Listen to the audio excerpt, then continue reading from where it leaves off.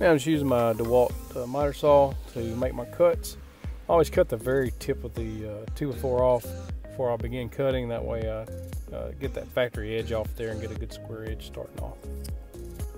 Now I'm drilling pocket holes in the aprons or the stringers uh, on each end. I'm putting two pocket holes on each end. All right, so now we're going to assemble the table. I just assemble it upside down on my table. See uh, my new baby Charlie there.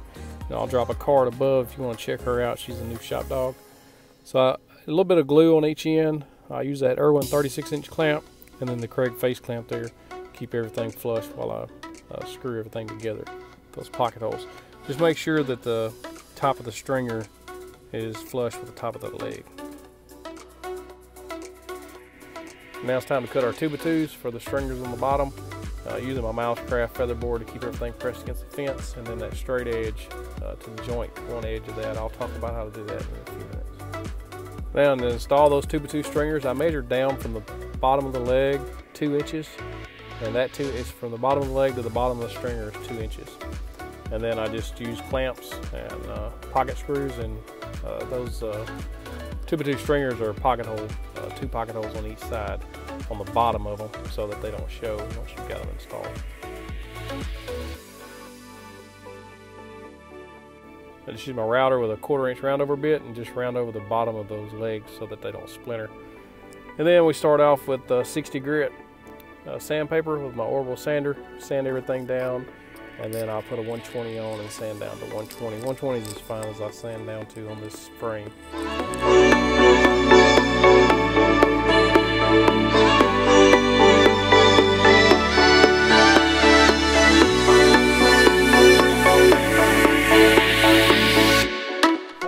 Ready to prime and paint this, I've got it sanded, but one thing I want to do is get the prepare it for the tabletop to be put on there. So I use these Rockler tabletop fasteners. I'll drop a link in the description. Uh, some people call them Z-clips because they're in the shape of a Z. They have a hole on, the, on one side and what that does is if the tabletop is here, this will slide into your skirt into a hole you cut and then you'll screw that into your tabletop. And what that does is it allows for expansion and contraction of your tabletop because if you just take some Kreg screws and screw up through here, here, and here, then you've secured that tabletop to your frame, but it doesn't allow the natural movement of the wood. And then what's going to happen is it's going to bust over time. So if you have these, it does allow for a little bit of wood movement.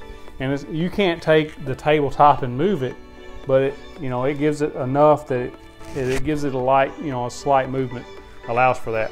And how I cut my holes, a lot of people use biscuit joiners for this. So if you have a biscuit joiner, you can use it for this. But I use just a eighth inch straight bit on my router with my edge guide set to that depth. And I just took the Z-clip, put it on the uh, router, set it to that, that depth I wanted, and then use the edge guide the same way uh, so that I know how, how far back I want it. And that's what we're gonna do now is just, I'm gonna cut three on the long side, two on the short side on these end tables.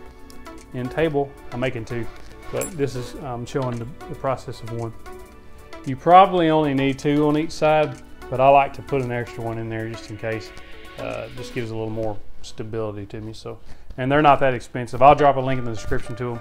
Let's go ahead and cut these, and then this will be ready for prime paint.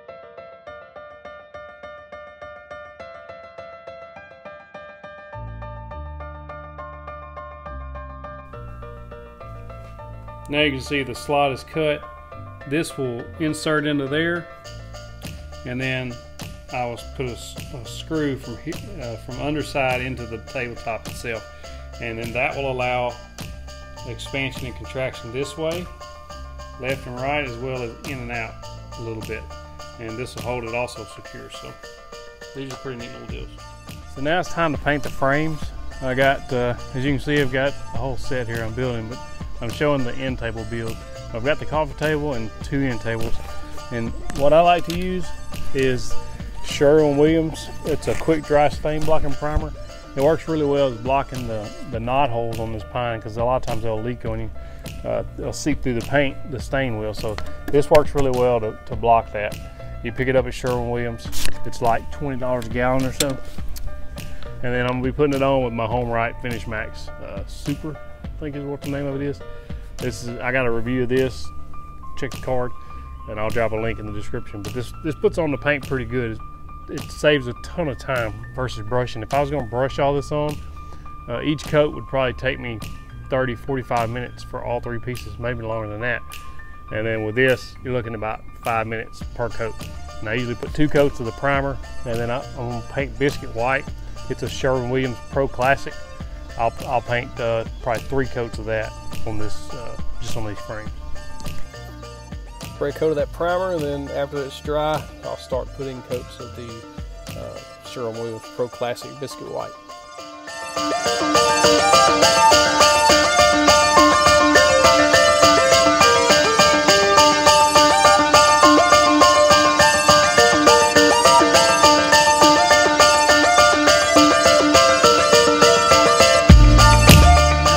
Tabletops for frames we've painted.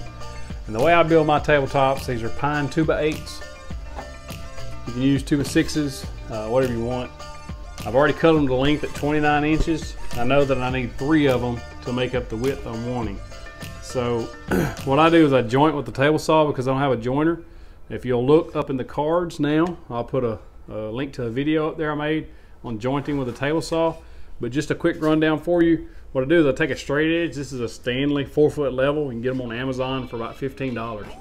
And then on my table saw, I set the fence to the this width, the, the width of the level, plus the width of my stock.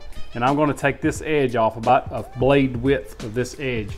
I'm gonna run all boards through there and take, this so, so we got three boards, take one edge off each board. And then what we do is put the straight edge away, flip the board over, put the cut edge against the fence, uh, move the fence to your desired thickness or width, and then run it through. And then you've got two pretty straight edges. It works really well if you don't have a, a jointer. So that's what I'm fixing to do, and we'll start building these tabletops.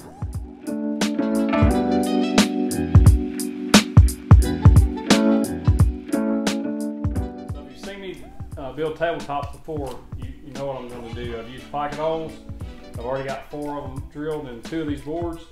And then we're gonna put a little uh, Titebond wood glue on there. And then just put them together with these this pocket hole method. So basically what you're gonna have is three boards joined together just like that. And I'll, like I said, wood glue between these two joints. I'll clamp them together and uh, use my face clamp here, my Kreg face clamp, to uh, get these flush and then we'll put those four pocket holes or eight total pocket hole screws in there, and we'll have a tabletop ready for sanding.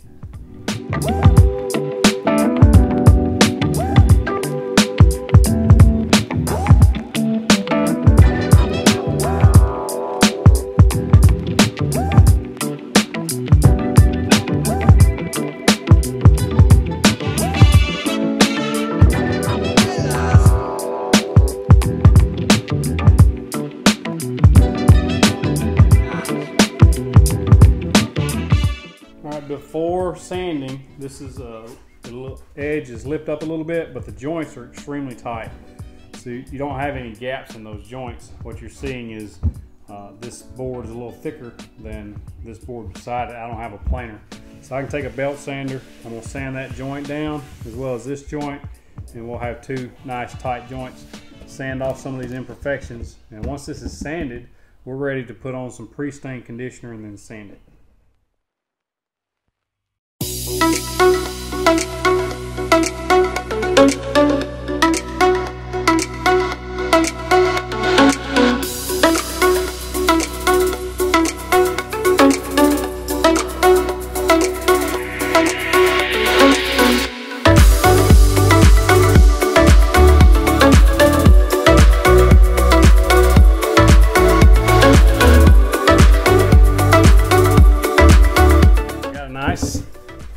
table top. Uh, this is uh, what I did was uh, you saw me cutting down the 2 by 8s and these are actually they wound up being about 6 and 5 16 inches uh, three of them 6 and 5 16 inches joined together. Are they perfect? No. But are they nice? Yes. It doesn't have to be perfect to be nice. I'm building a rustic farmhouse style end tables, so I don't want them to be exactly perfect. Uh, I don't even know that I could build something exactly perfect at this point. But the joints, as you can see, there's no gaps there. That's all jointed on a table saw. Uh, the, the, the difference in height was taken care of by a belt sander, but you could easily do that with a orbital sander, which is what I did before I got the uh, belt sander. So you can see that these are really nice uh, end tabletops, pocket hole together. Uh, most anybody with a pocket hole jig can do this. Uh, it's just the pocket hole jig and a table saw. Uh, before I got a good table saw, I was I was not able to get those joints like that. No way. I tried doing everything from using a circular saw with a straight edge. Uh, uh, I just I couldn't do it. So I tried ripping edges off and, and different things and never could do it. So if you don't have a jointer or a table saw, it's going to be difficult to get those tight joints. You can get them close, but you can't get them perfect. Uh, like I said, it doesn't have to be perfect to be nice. I'll bring this closer to you. Right here's a joint, and then right here's a joint. It's probably difficult to see. You can see the lines if you really look right there and there. Uh, I'll turn these knot holes up on purpose because the customer wants that. And so that's what they're going to get there because that's what they wanted. And uh, it looks really nice. When you we're going to stain this a dark walnut, and it's going to be really pretty uh, once we get our finishing all on. So now all I got to do with this one is wipe it down.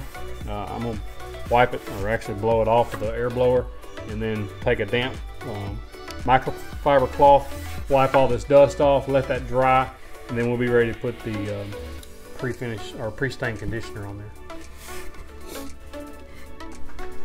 Uh, one more thing, uh, if, you, if you've not seen any of my videos before on how I make these tabletops and how I do these edges, it's a 3 8 inch roundover bit and I have it sticking past flush about maybe a 16th of an inch, just depends. And then that gives you that gives you that little detailed edge there. That way it doesn't just look like a rounded over piece.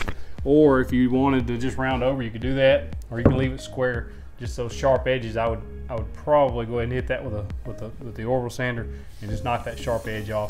And then on the bottom, I took a quarter inch round over bit and rounded the bottom edge. That way it's smooth and it's not got that sharp uh, sharp point on it. And then of course on the corners I rounded those off also. I always like to use this uh, Minwax pre-stain conditioner on pine. What I like to do is apply a liberal amount. Uh, you don't want it like standing on the, the material. So you can just see I, I wipe it and then I, I, use a dry part of the cloth to get any excess. But I like to let that dry for about 30 minutes before I put any stain on.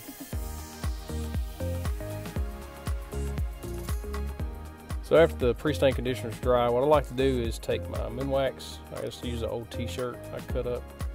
Uh, then I, like to stain those pocket holes first, and then the bottom, then the edges, and then flip it over and do the top. Uh, if you have a little excess on there, you just wipe that off any extra after it dries for a few minutes. And I'll do the same thing on the end tabletops that you see now.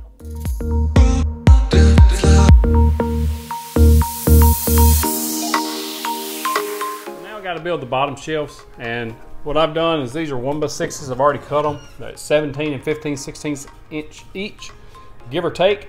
What I do is I take this one piece, I'll cut it a little long and then I'll just trim it just a little bit until it slides in there uh, just so. I mean, you don't want it to be extremely tight and you don't want it to be uh, very loose either. So that's how I do that. And then what we're gonna do is I'm gonna rip them all the exact same width. So I've got three of them cut. I'm gonna rip them down the same width so that we're building a shelf and I'm gonna pocket hole screw them together. And then we'll have a bottom shelf and then these will be pocket hole screwed into the, the uh, the bottom railing there. And then that, and then you'll have a nice shelf to be a good sturdy shelf. Uh, we're gonna do that on this table, and then we'll be able to sand and stain the shelves. Once I get my pieces fit, uh, cut to size, what I'll do is I'll take them over to the uh, pocket hole, the Kreg K5 that I've got. I drill three pocket holes in each one, on two of the three boards, and use a little wood glue at uh, Kreg face clamp, and then I'll just screw them all together until I get what I need. And here I'm just doing a dry fit. You don't want it to be so tight you have to hammer it in, but you also don't want it loose that it just falls through. So it takes a little bit of uh, nibbling with the saw until it fits perfect. All right, I've got uh, sawdust all over me. Just got it all over my work. So it's time to clear coat. My stain is set uh, overnight on these pieces. I've got one coat of clear on my tabletops. And now I'm gonna go ahead and put one coat on these. Usually the shelves, the bottom shelves, I'll put two coats of clear.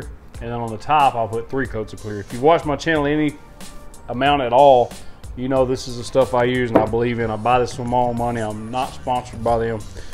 I won a can of it several months ago on Instagram. A pint, a little small. I used it and loved it. So this is a satin finish.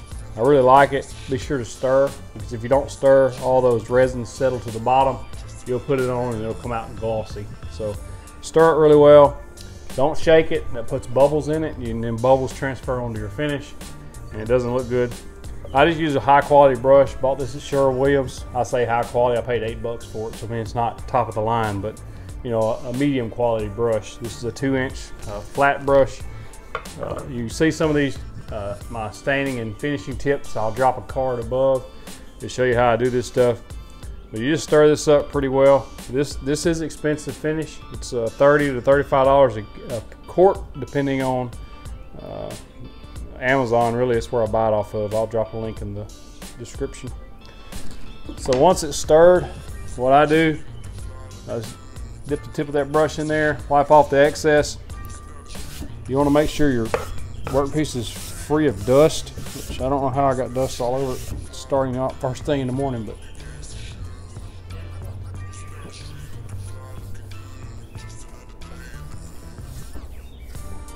I don't just drench it, but I want a good coat to start with, especially since I'm only gonna do two coats. After this coat, I'll take a high grit sandpaper and a sanding block like this. You can buy these at Walmart. This, I bought the sandpaper off Amazon. It comes in like a pack of 50 of all different grits. This grit is uh, 800 grit. So once this is dry, I'll go with the grain and I'll knock off any rough parts and then wipe it down with a damp cloth, let that dry, and then I'll put a second coat on. These bottom shelves, uh, there's no need to do the edges because as far as clear coat goes, because they're gonna be covered up by your, your aprons or your stringers, whatever you wanna call them. Main thing is just make sure you get a good even coat all the way around. Uh, like I've said before on my finishing tips, I like to get down and you can look across it and get the light just right and you can see the places that you that are still dry along this edge a lot of times uh, it, it stays dry until you actually get brush on it and even your brush you have to actually mash on it to get it to cover that area sometimes so I'm gonna finish up these and put another coat on my tabletop we're gonna let these dry we got our clear coat dry and we got our tabletop lay it upside down. I put an old towel down to keep it from getting scuffed and scratched. Grab a frame. Lay it on top, just like that. What I'll do is, I'll take a tape measure. You know, because I've always got one laying around somewhere. Tape measure. I'll grab my tape measure, I'm gonna measure, it should be a one inch overhang all the way around, give or take. because that's what I, I had allowed for.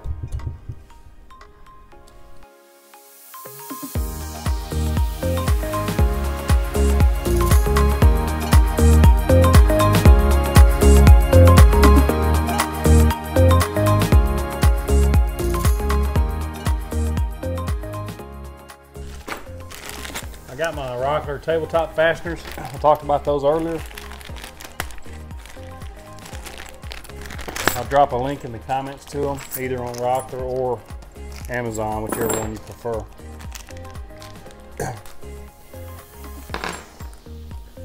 so they're just Z-clips. They're gonna go in these holes. Go in these holes like that. See, they, they go in that slot. And I'm gonna put them all the way around. There should be four or eight, of these, eight or so of these.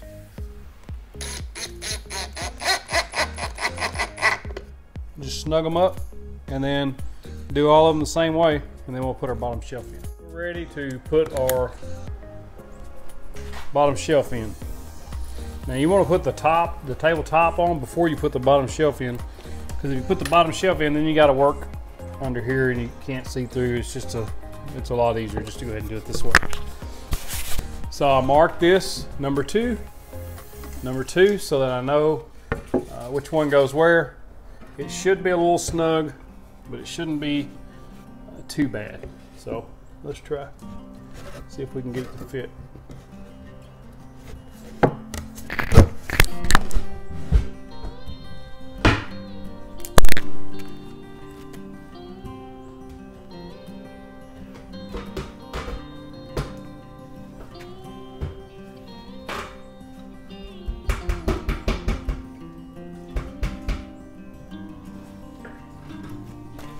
So I'm just using an inch and a quarter pocket screws and I've got my, I don't think I even explained this, but I got pocket holes in these shelves uh, going to the outside and they're gonna screw into these aprons. So I got two on this side, two, two, and two.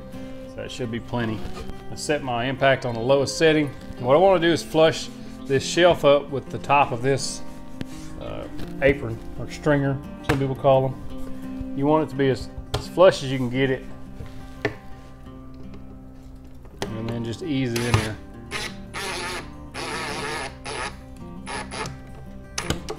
You don't want to you don't want to ratchet it down on there, risk busting this uh, stringer. Just a snug.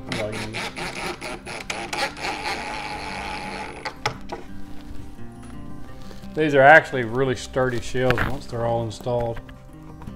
You see, I'm not I'm not putting a lot of uh, pressure in there. I'm making sure that this is flush with my hand on the back side or the underside. We're gonna do them all the way around. And I'll flip this table over and show you what we got. And there we have it. A beautiful farmhouse end table. Dark walnut top and shelf. And that biscuit white frame. Man, these are these are awesome. I really like the way they look. They turn out really nice. Uh, they make a beautiful living room piece. You see the frame of the other ones in the background. Also have a coffee table, so this is a three-piece set I've built. But I just want to show you how to build a small uh, farmhouse end table. Here's some bonus information for you. Had you wanted to put X's in here, uh, which I built several of those as well. I just haven't built any in a while to make a video on it. If if I was putting, if I was going to do an X detail, I'd have done this exact same way. You cut extra uh, two by twos or inch and a half by inch and a half stock. And what I do is I just, if you want the X to go from, from the bottom to the top, not side to side here. So I just lay this on there like that and get it in the exact position I want. And I, before all these shelves are in, I clamp that off. I'd mark this piece under here and here, then I would cut that angle. I would cut it a little bit long, and then I would trim it just a little bit at a time until it fit perfectly, until it was really snug in there. Then I would put it in there, and then on my next piece, this piece would be installed. And the next piece, and the way I install that is I take a, a pilot hole drill from the bottom uh, and uh, put a screw in it, and then on this side just glue it and maybe put a, a finish nail or a brad nail in it. Now if this piece is installed, you have to do this piece. I do the same thing. This piece is here, We'll pretend this is a, another cross piece and I'll lay that exactly where I want it all the way, you know, down to here with this piece already installed and I'll make my marks here, here, here, and here. Those four places, that gives me four cuts. Each one of those I'll cut that angle, whatever that has that works out to be, and then I'll cut it a little long and then I'll trim it just a tiny bit at a time until it fits. I may I may trim it five, six times before it fits perfect. But I want to cut it too much and then it'd be too loose and then you have to start all over. If you cut it just tiny bits at a time, especially with a miter saw, it, once you got that angle set, it's really nice. And as you're, as you're trimming close to it, if you need to adjust that angle just a little bit, uh, you can do that if it's a little long. But if you've, if you've cut it just the exact spot, you know, that exact length, and then you go to put it on there and your angle's off a little, then you can't adjust that without creating a new piece. That's how I do X's. Same thing, I'll, I'll attach them. If I was gonna do an X table, Instead of this being a 2 by 4 up here, I would have made it also a two by two uh, cross here, and that way you can pre-drill those holes and put a, a screw into the into this X, and then up from there, same thing on the other, and then where they join together, where the X's join together, what I do is I glue it, and then I also put some brad nails in there just to hold it till the glue dries. If you've watched any of my table builds before, you know that one of the last things we're going to do is put these sticky pads, uh, felt pads on the on the feet to protect any non-carpeted um, flooring. I buy these at Walmart. You can get them anywhere. I think they're like 10 or 11 dollars for 160 pieces. They work really well. They stick well, and then I don't have to worry about my customers uh, cutting their floor up on this uh, lumber or this two before because I've sanded it down, but inevitably something can get in, you know, stuck in there. This is soft wood; it can get gravel or anything in there. Even the wood itself, you don't want them scuffing their, their nice floors uh, with your product. So I always like to put some some felt pads on the bottom, and then it also helps them move around their, their room. They can move it and position it any way they want, and not have to worry about it scuffing their floor or even having to pick it up. It'll move easily. Awesome. If you want to support Zeus, hit that thumbs up. He likes them. Uh, sit down. Sit, sit, sit, sit, sit, sit. I think this farmhouse end table turned out really awesome. It's a smaller version of the one I originally built. It's a really sturdy table. It'll last a very long time. It's beautiful in the home. You can paint them or stain them any color you want. And for about less than $50, you have you a nice table. If you want a set of two, you're less than $100 in on material. So it's not bad. Drop a comment below. Let me know what you think about this farmhouse end table. Maybe give a thumbs up, show some support to old Zeus back there. He's hanging out in the shop with me today. If you want to see the original farmhouse table that I built, the larger version, you can click the video, it'll be here. And then if you want to see another one of my videos, it'll be listed down here. Thank you for watching.